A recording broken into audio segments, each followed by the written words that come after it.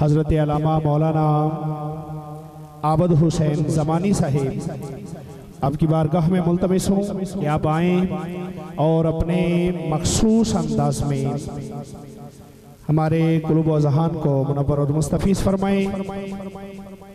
تو زوردار نعرہ لگائیے گا، نعرہ تکبیر، نعرہ رسالت نعرہ رسالت۔